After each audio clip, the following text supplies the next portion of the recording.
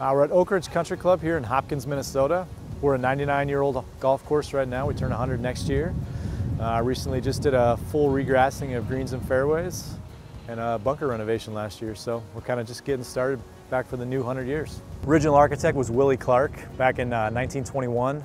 We just did a redesign with uh, Dave Axland, Rodney Cole, and Dan Proctor. We're a fairly light club overall. We usually do about 18,000 rounds a year. This year a little bit less with uh, not opening till July 1, but we're still beating records right now.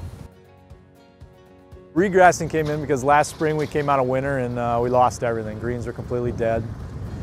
Uh, we, we went in and seeded them and got a nice stand, but then we just decided this was the year to do it, so we killed everything and started over.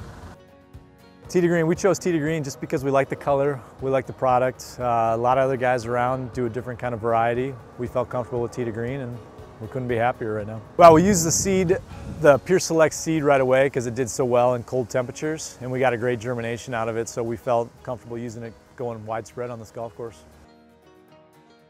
The wintertime is our, is our biggest challenge right now. We, we get really low temperatures, but lately we've been getting freezing rain in the middle of December and we needed a grass that could survive underneath ice if we, if we got ice through the winter, and this is, this is gonna be pretty good for us. Uh, greens right now, we're sitting at about 115. I don't think we'll go much lower than that. These greens are pretty sloped severely from back to front, so we get them too much lower, they're gonna be too fast and unplayable. Fairways, we're sitting at 375. Nothing special there. But we found with this new grass that we don't need to necessarily mow every day. We can take a day off and roll and still maintain speeds.